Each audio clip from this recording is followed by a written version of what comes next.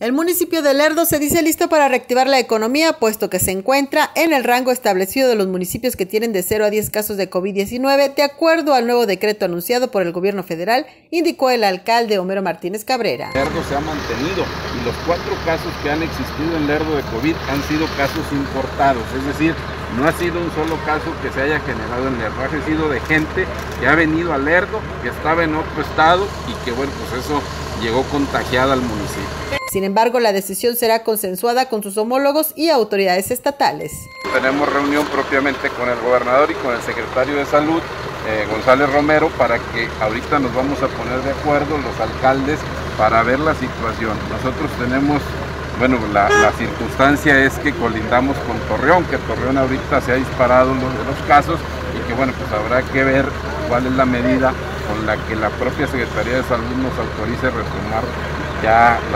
Pero señaló que esperan que el próximo lunes 18 de mayo al menos el ayuntamiento que él representa retome algunas actividades económicas como la industria y la construcción. Grisel Danguiano, Noticias.